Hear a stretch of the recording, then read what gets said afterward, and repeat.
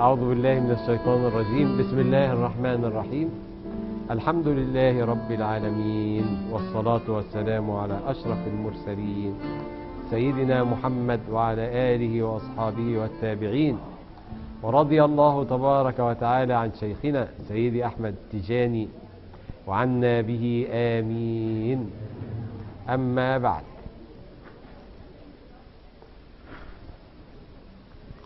أعوذ بالله من الشيطان الرجيم. بسم الله الرحمن الرحيم. ولله غيب السماوات والأرض. ولله إيه؟ ما غاب عن الكون من الكون فهو غيب. وما ظهر للكون من الكون فهو شهادة. والكل عند الله شهادة. يعني ربنا سبحانه وتعالى لا يغيب عنه شيء. لا يغيب عنه إيه؟ ولا الغيب ولا الغيب يغيب. لا. فربنا سبحانه وتعالى إيه بقى؟ الشهادة. الشهادة هي المظاهر التي ظهرت والظواهر التي برزت إلى الوجود من الكون. حاجة أنت تشوفها حاجة غيرك يشوفها حاجة حيوان يشوفها حاجة دي اسمها مظاهر. ظهرت. والغيب هو ماهيات الأشياء وحقائق الأشياء وبواطن الأشياء. لا يعلمها إلا مشيء الأشياء. ده السر. حقيقتك إيه؟ ماهيتك إيه؟ باطنك إيه؟ ما يعرفوش غير ربنا سبحانه وتعالى. أنت ما تعرفش أنت إيه. أنت لا تعلم ما هي ماهيتك. ولا أي مخلوق يعلم ما هي ماهيته. إن الله يمسك السماوات والأرض أن إيه؟ ولئن زالتا إن أمسكهما من أحد. ربنا مسكك. حد حاسس إن ربنا مسكه هو مسكك. مسكك أن تزول. ولا أن ولو سابك هتنعدم في الحال. هي دي بقى ماهيتك. هي دي إيه؟ ماهيتك التي لا تعلمها ولا تعرفها. فالله تبارك وتعالى وراء كل شيء. وماهية كل شيء. يعني إيه ماهية كل شيء؟ يعني أنت مش هتقدر توصل إلى الله. ولذلك لن تصل إلى ماهيتك لأن الله هو ماهيتك الله هو ماهية الأشياء. وحقيقة الأشياء وشيئية الأشياء.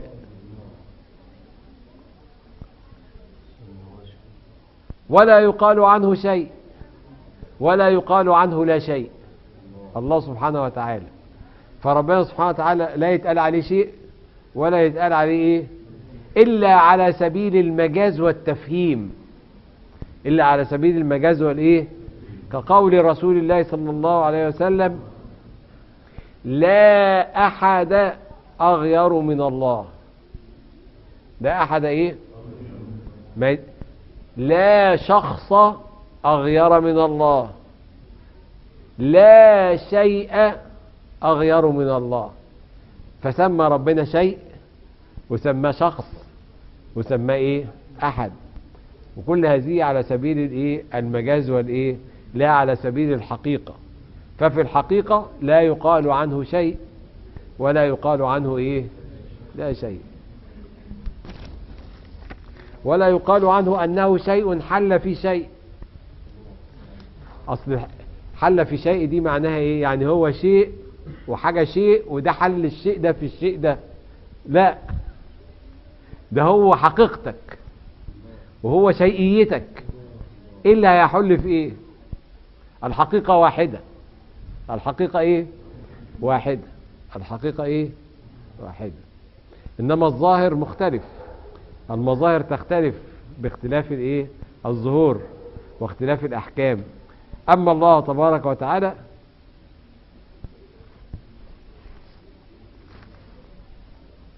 مش اسمه الظاهر. مش ربنا اسمه إيه؟ الظاهر بالألف واللام. معناها إيه؟ أن لا ظاهر سواه. انت عارف لو قلت ان ربنا ظاهر يبقى في حد غيره ظاهر. إنما الظاهر يعني لا شيء ظاهر سواه. فأنت مظهر من مظاهر ظهور الظاهر. يبقى أنت إيه؟ مظهر من ظواهر ظهور الظاهر. وماهيتك سر من أسرار باطن الباطن. دي ماهيتك انت. يبقى انت في غيب وشهادة. فيك إيه غيب وايه؟ الشهادة بتاعتك إيه انت ظاهر اهو. والغيب بتاعك يعني ماهيتك ماهيتك لا يعلمها إلا إيه؟ إلا الباطن. مش كده؟ لما يقول ولله غيب السماوات والأرض صدق الله تعالى. ولله إيه؟ مش لحد. خلاص.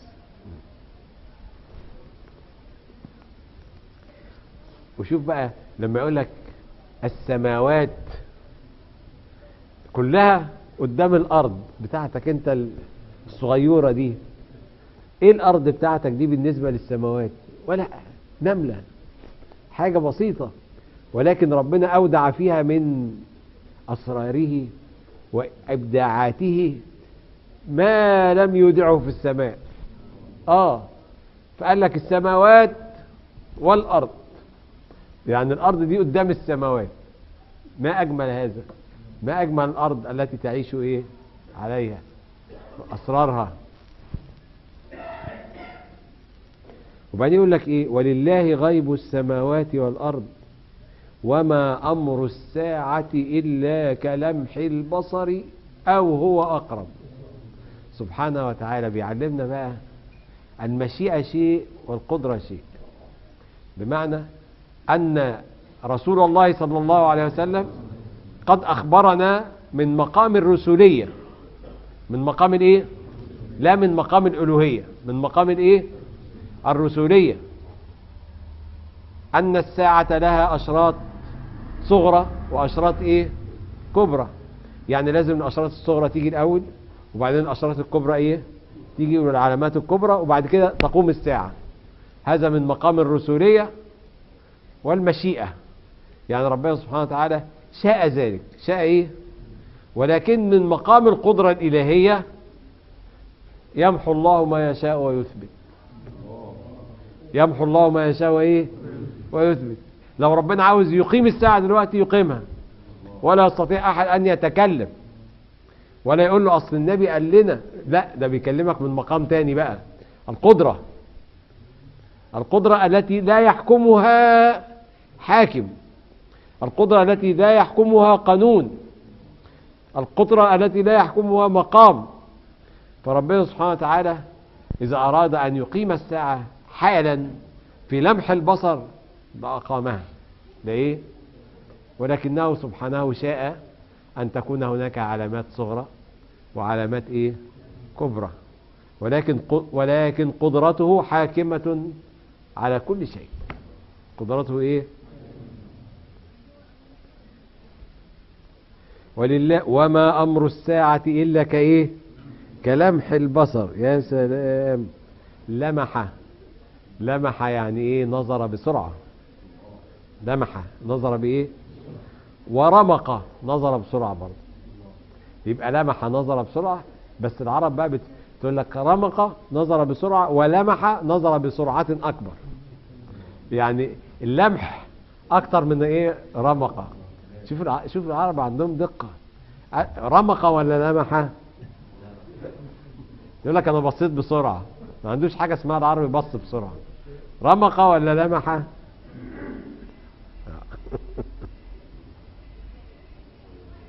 زي حدج ورنا حدج وإيه؟ رنا يعني نظر بانبساط وحب وسكون. بس مين أحلى من مين؟ رنا أحلى بإيه؟ من إيه؟ آه حدجة. حدجة.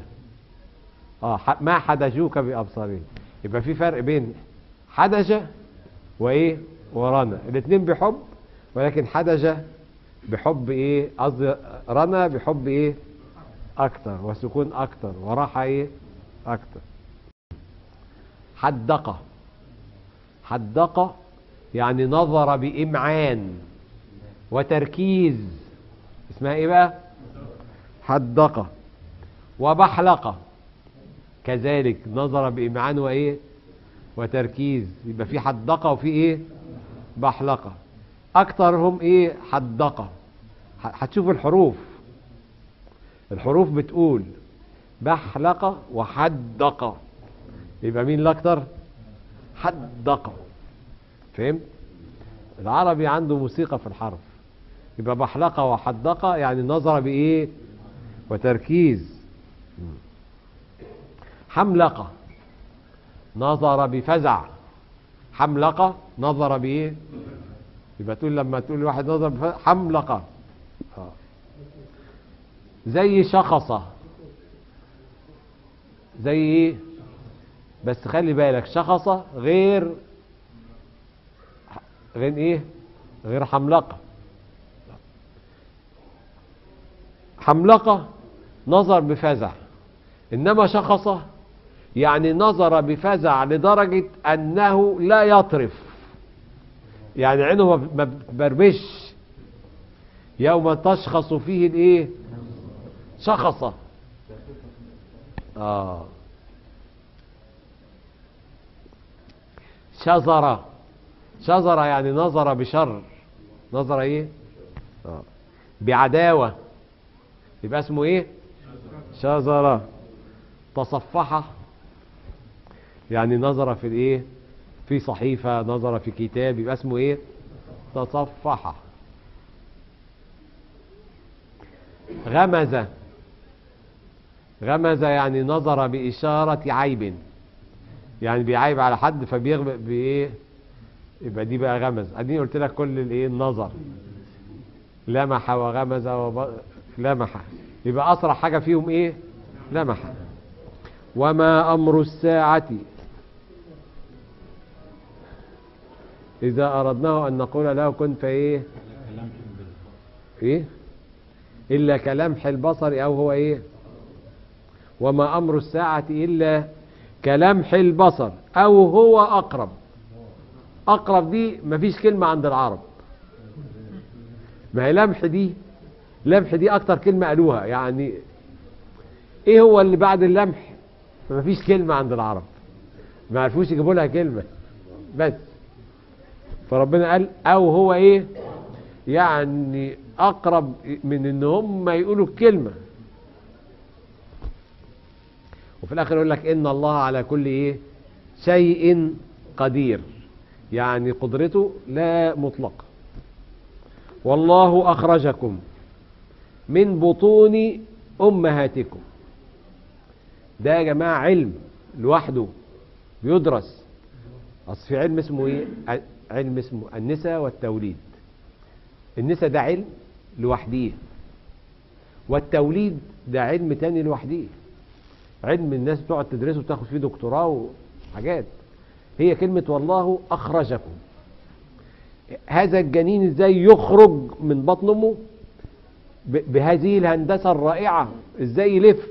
إزاي راسه ليها مقاسات وليها أقطار معينة وال وال وال وال والحوض بتاع المرأة غير حوض الراجل خالص. حوض المرأة بيبقى أوسع ومعمول له كده زوايا وحاجات كده ناتئة بحيث الراس لما تقعد فيه تلف عشان تنزل بطريقة معينة. الراس لما لفتش ليها نظام وكل واحد راسه ليها قطر معين غير التاني. رب مين اللي بيقيس ويعمل؟ مين أخرجكم؟ وعشان الجنين ده يخرج قصة كبيرة. بيبقى فيه كيس مية يروح مفتوح تروح المية ديت عاملة إيه في في في المهبل اللي هو الحتة اللي هيخرج منها تروح إيه موسعاها كده. والمهبل يروح طالع لفوق وواسع متوسع وسع يعني وحاجات لزجة كده تبقى على عشان تبقى تتزفلط كده الراس تتزفلط. حاجات ربنا بقى هو اللي إيه حاجة رباني أدي كلمة والله أخرجكم. يعني الأم هي اللي بتشيل الجنين. طب دلوقتي إحنا عندنا مشكلة. في ناس بتأجر الأرحام. يعني ت هي ما بتقدرش تحمل. فبتجيب واحدة تانية بتأجر الرحم بتاعها بحيث إن هم يحطوا فيها الإيه النطفة مع البويضة و- يبقى الجنين ده خرج منين؟ من بطن واحدة تانية. التانية ربنا اداها لقب الأمومة. بها- بهاتين ال- الإيه؟ يبقى الأولانية أم أصلية عشان متاخد منها الإيه؟ والتانية أم فرعية. تحرم على عارف ال- ال- الست اللي بتحرم على الجنين بالرضاعة؟ وكل ولادها بالرضاعة؟ برضو الست اللي هي حملت هذا الجنين أولى بأنها تحرم هي وأولادها. فيحرم من استئجار الرحم ما يحرم من الايه من الرضاعة أو أشد. لأن ربنا سماها إيه؟ أم. إن أمهاتهم إلا اللائي ولدنا. والله أخرجكم من بطون أمهاتكم. أخرجكم لا تعلمون شيئا. لا تعلمون إيه؟ شكرا يا رب. أنك أخرجتنا لا نعلم شيئا. دي نعمة ربنا بيمنها علينا. بيمنها علينا. أصل إحنا لو كنا نعلم كنا توجعنا. قلنا إيه ده؟ إحنا في ال... إيه الظلام اللي في البطن الرحم ده؟ وإيه الخروج ده ال... ال... ال... كنا كنا إحنا هنتوجع ولا مش هنتوجع؟ فقال لك لا. أنا هخرجكم ما تعرفوش حاجة ما عندكمش إدراك بما حدث. عشان ما تحسوش. ما تحسش بحاجة. بتتولد وأنت مش حاسس إنك مين اللي بيحس؟ الأم. هي اللي عندها إدراك. هي اللي عندها إيه؟ إنما أنت بتحس بحاجة؟ ما تحسش بحاجة. كذلك ستموت وما تحسش بحاجة. ربنا بقى رحيم. ما هو زي ما ولدك وأنت ما حسيتش. طب انت تفتكر انت حسيت بحاجة ساعة ما اتولدت حاسس بحاجة مفيش عندك إدراك. ساعة ما هتيجي تموت الإدراك اللي في الآخرة بالنسبة للإدراك بتاعك ده هو الإدراك ده ل- للإدراك بتاع العيل الصغير اللي هو ما كانش فأنت هتلاقيك اتفتحت على إدراك كبير قوي إدراكك ده منه ولا حاجة مش هتحس بحاجة. يعني مش هتحس بحاجة إنك أنت مت. مش هتعرف إنك مت. آه. هت... كما إيه؟ كما بدأكم إيه؟ تعودون. كما بدأكم إيه؟ أنت حسيت بحاجة؟ أنت يا حبيبي مش هتحس بحاجة برضه ما تخافش. هتروح هتلاقي نفسك إيه؟ نازل في المطار بتاع عيلتك هناك. ما هو كل عيلة ليها بقى مطار. ده فلان جاي النهارده هيهبط. تلاقي العيلة كلها رايحة مستنياه. يا حبيبي انت هو إيه؟ أنتوا كنتوا فين؟ الحمد لله على السلامة. وانت ولا هتحس بحاجة. لا تعلمون إيه؟ وبعدين وجعل لكم السمع والأبصار السمع والبصر والأفئدة جمع فؤاد قلب. يعني جعل لكم قلوبا تشعرون بها. تشعرون بها. أول ما الجنين بيتولد بيتولد بسمع. بيسمع على طول. ينزل يسمع الأصوات اللي حواليه. تعمل له كده يسمع. إنما ما يبصرش على طول. ياخد كام يوم عبال ما البصر يبدأ يشوف النور. إنما بياخد كام شهر على بام ما يقدر يشوف الحاجة اللي قدامه. يعني هو كل عين من الجنين بتشوف لوحدها. عشان بقى يبدأ يحط الصورتين على بعض والعين تشوف حاجة واحدة دي بتاخد وقت. تاخد وقت.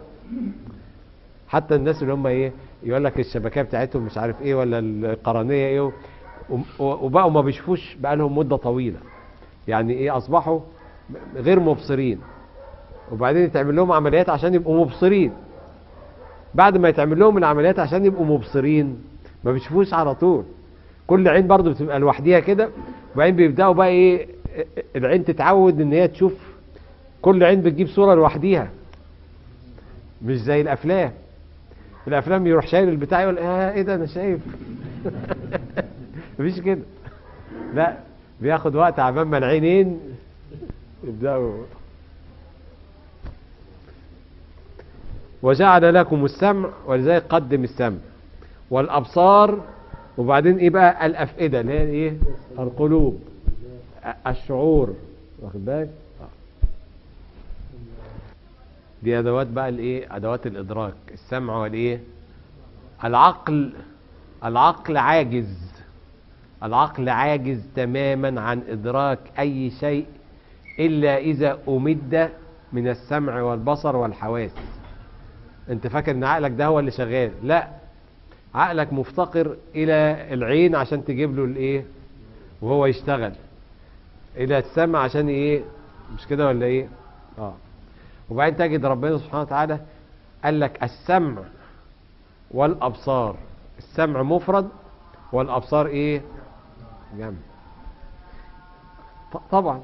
عشان أنت ما تقدرش تسمع غير حاجة واحدة. يعني أنت دلوقتي قاعد و20 واحد بيتكلموا.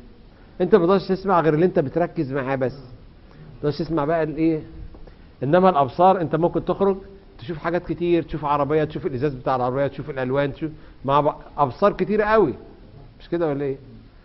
فقال لك السمع والايه والأبصار. تشوف أبصار كتير.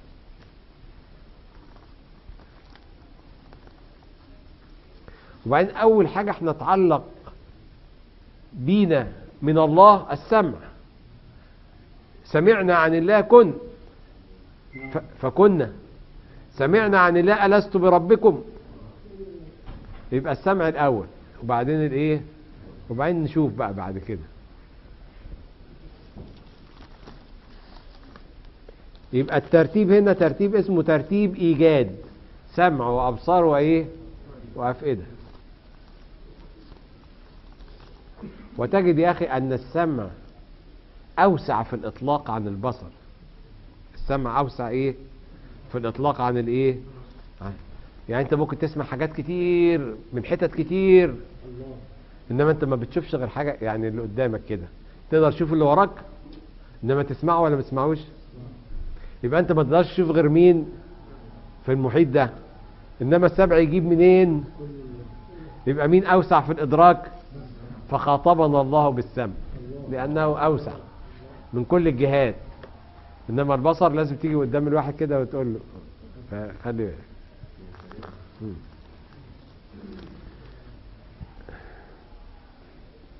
لعلكم تشكرون. لعلكم إيه؟ بيقول لك لعلكم إيه؟ تشكرون. الشكر لله. ألم يروا يبقى ألم يروا؟ شفتوا؟ إحنا عايشين في عصر المعجزات. في عصر إيه؟ المعجزات. يعني قوم موسى انبهروا جدا لما العصاية بقت إيه؟ تعبان. لا أنا منبهر بالعصاية. إحنا دلوقتي منبهرين بالذرة اللي كونت العصاية دي مش العصاية كمان. إحنا دلوقتي يا جماعة في عصر المعجزات. إحنا دلوقتي خلاص. شوف سم... إحنا إحنا دلوقتي بنسمع تسبيح الكائنات تسبيح الخلايا والذرات واللي أقل من الذرات.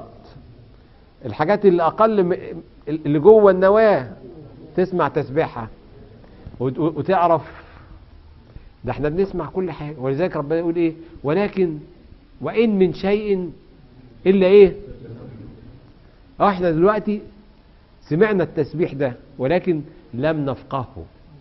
ولذلك ربنا يقول لك ولكن لا تفقهون. ما قالش لا تسمعون. لا تفقهون. يعني أنتوا شايفين كل حاجة دلوقتي وسامعين أصوات ولكن لا تفقهون هذا إيه؟ آه. إحنا بقى في هذا العصر عصر الإيه؟ الم... كل حاجة اتكشفت. كل ت- اللي كان معجز زمان بقى دلوقتي إيه؟ مفتوح. كل الناس شايفاه وعارفاه و... إيه يعني عصاية كده؟ راح بقت تعبان. لا أنا جايب لك كوبر اسمه إيه؟ مش عارف إيه ال- يعمل لك 100 عصاية تعبان. عادي. وي... آه خلاص. دلوقتي المعجزات بقت بقت آه. أنتوا في عصر الإيه؟ المعجزات. آه والله يا أخي. ولو أن قوم موسى مؤمنين حقا لانبهروا بكل شيء. لانبهروا إيه؟ بكل شيء. كل ما في الكون. جدير بالدهشة والإعجاب والانبهار. كل حاجة جديرة بذلك. كل ما في الكون خارق للعادة. كل ما في الكون خارق إيه؟ من أصغر ذرة لأكبر مجرة. كل شيء خارق للإيه؟ ولو أنك مؤمن حقا لانبهرت بكل شيء. على قدر ما تنبهر أنت مؤمن. يعني يزيد إيمانك وينقص على قدر ما تنبهر وتشوف أن هذه الأشياء اللقمة اللي بتاكلها اللبس اللي بتلبسه النظرة اللي بتبصها كل حاجة خارقة للعادة. الشعرة اللي بتطلع لك هنا الشعرة الدم اللي بيطلع في الحتة الفلانية كل دي حاجات خارقة للإيه؟ إزاي ربنا بيدافع عنك ضد الامراض والميكروبات والفيروسات؟ كل هذه خوارق للإيه؟ آه. الكل ناطق. الذي أنطق كل إيه؟ سمعنا نطق كل شيء دلوقتي حتى الكواكب البعيدة. عرفنا نجيب ال ال الأصوات بتاعتها مع إن الصوت ما بينتقلش في الفراغ. يا أخي ده الصوت ما بينتقلش في الفراغ. سمعتوا الأصوات دي إزاي؟ قال لك آه ما إحنا بقى ما سمعناش أصوات. ده إحنا جبنا الأمواج اللي بتيجي منها وترجمناها على الكمبيوتر طلعت أصوات. واخد بالك أنت إزاي؟ يقول لك والسماء والطارق. نجم بي بيطلع صوت. يقول لك الله الصوت ده بيجي إزاي؟ ده, إحنا في الفراغ. والصوت لا ينتقل في الفراغ إنما الموجات بتنتقل. خدوا الموجات حولوها لصوتيات طلع هو الصوت. طلع ان هو طارق فعلا بيطرق. والطرق ده إيه؟ تسبيح. ولكن إحنا مش, مش لا نفقه هذا التسبيح. ولكن خلاص سمعنا التسبيح. إنما تفقهه؟ ما تفقهوش. كل شيء لم يصبح في هذا العصر في حاجة اسمها جماد. شيل الجماد. شيل تعريف الجماد. لم يصبح عندنا في هذا العصر جماد. كان زمان في جماد دلوقتي مفيش جماد. هتجيبه منين؟ كل ذرة انت عرفت ان هي مش جماد. هنلغي الجماد. الغي بقى الايه؟ الغي الجماد. اتعامل معاه على انه بيحس وبيعرف وبينطق وبينطق. والله بينطق. وان من شيء الا يسبح إيه؟ ده مش بينطق وبس ده بيسبح. سبحان الذي أنطق كل إيه؟ كل ما هو شيء ربنا إيه؟ أنطقه. يبقى يبقى عيب إنك تقول على أي حاجة إن هي جماد. عيب آه. ألم يروا؟ شفتوا؟ أقول قولي هذا واستغفر